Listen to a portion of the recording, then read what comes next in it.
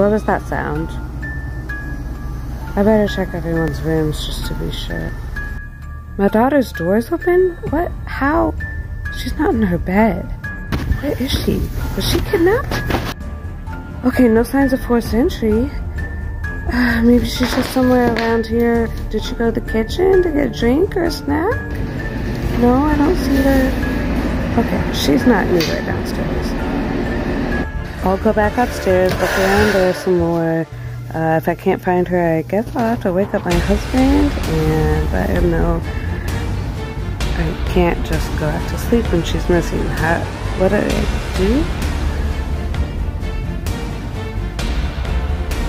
Mommy? Oh my god. Okay, you were up here in our all along. And that was the night I learned that our two-year-old can now open doors.